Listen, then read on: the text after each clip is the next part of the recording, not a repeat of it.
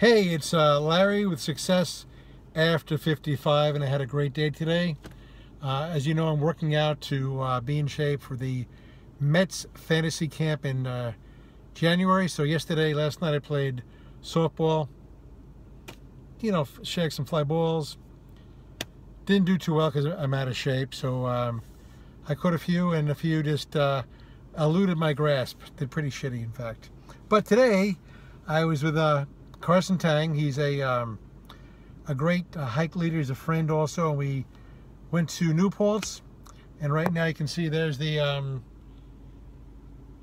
New York State Thruway. I'm coming home from New Paltz, and um, a wonderful hike, waterfalls, good friends, and I hiked seven miles. I'm out of shape, but I pushed myself. You got to push yourself sometimes. And I survived. I had a great time, and um, just a wonderful day. So guys, if you want to uh, live your dreams after 55, you got to be in shape. You have to eat well, and you have to have a goal, and you have to work hard to get there, guys. So um, anyway, that's my story. Let me get back in the throughway, get home, and we'll talk again soon. Take care, guys.